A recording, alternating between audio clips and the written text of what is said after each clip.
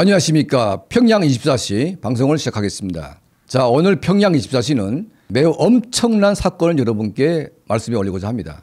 자, 이 사건은 97년도에 서울 한복판에서 김씨 왕조의 로얄 패밀리 이한용을 권총으로 사살하고 북한으로 기아한 공작원이 최근에 얼굴에 성룡까지 하고 청주 간첩단 사건을 총쥐한 이 충격적인 사건이 평양 24시에 의해서 최초로 밝혀졌습니다. 여러분도 아시겠지만 최근에 청주 간첩단 사건, 뭐 제주 간첩단 사건, 온 나라가 지금 간첩으로 지금 부업을 끓고 있습니다.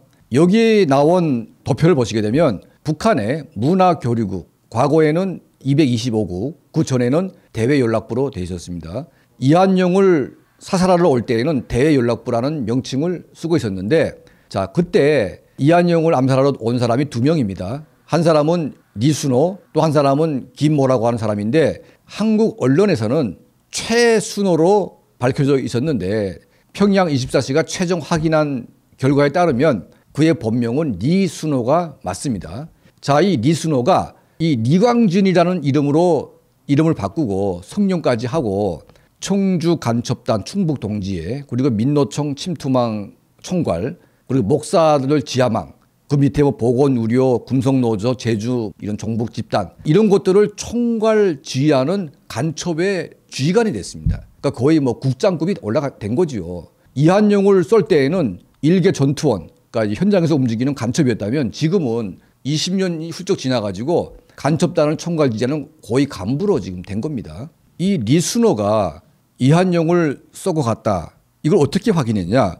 지금 한국에 넘어온 대연락부 출신들의 공작원들이 꽤 많습니다. 그 가운데 이한용 사건 바로 직후에 부부 간첩단으로 대한민국에 왔던 어, 사람이 있었습니다. 최정남, 강연정 부부가 있었습니다. 그런데 이 부인은 독극물을 씹고 죽었습니다. 그리고 최정남 씨가 살아남았는데 최정남 씨에 의해서 이한용을 쏘고 들어간 간첩단의 실체가 확인됐습니다.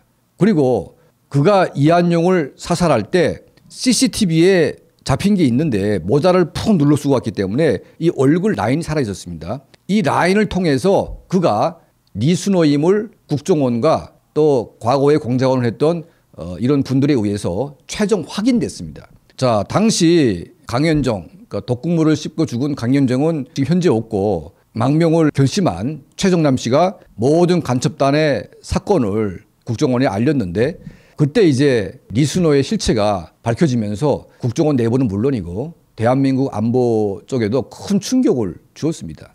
자, 이제 그 사건이 오래돼 가지고 국민들의 관심사에서 멀어졌죠. 자, 그런데 국정원이 청주 간첩단 주동자들이 캄보디아, 베트남, 또 중국 선양 왔다 갔다 하면서 북한의 문화교류국 공작원들을 만나는 과정들을 쭉 감시를 하면서 사진을 찍었는데 뜻밖에도 27년 전에 이한용을 쏘고 갔던 리순호가 나온 겁니다. 그런데 얼굴을 성형을 했습니다. 왜냐하면 대한민국 국정원에 찍혔기 때문에 보복을 당할 그런 이제 위험성 때문에 이마 부분을 성형을 하고 얼굴을 좀 갈아엎었습니다. 그럼에도 불구하고 그의 얼굴 선이나 특징적인 것들 몇 가지를 알아본 결과 리순호임을 밝혀냈습니다. 자, 이 사실을 평양 24시가 북한에서 망령한 공작원 출신들 이런 분들과 또 국정원 취재 결과 이한용을 사살한 그 간첩임을 밝혀냈습니다.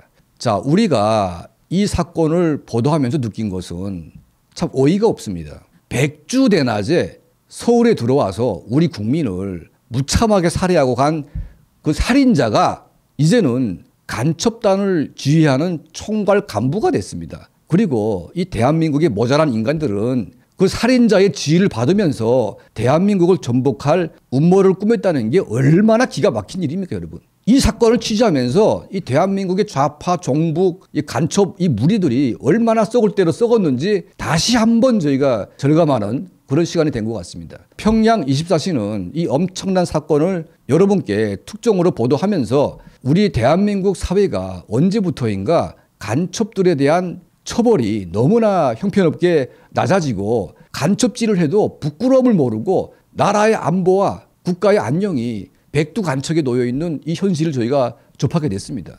자, 이 사건을 계기로 우리 국민들이 북한 정권에 대한 환상을 우리가 싹 버리고 김정은 정권이 노리고 있는 이 대한민국의 조카 대한 야망이 얼마나 지독하고 얼마나 악랄한지에 대해서 다시 한번 느끼는 이제 그런 계기가 됐으면 좋겠습니다. 평양 24시를 함께 해주시고 또 개인적으로 후원해 주시고 멤버십을 함께 해주시는 우리 모든 분들께 진심으로 감사드립니다.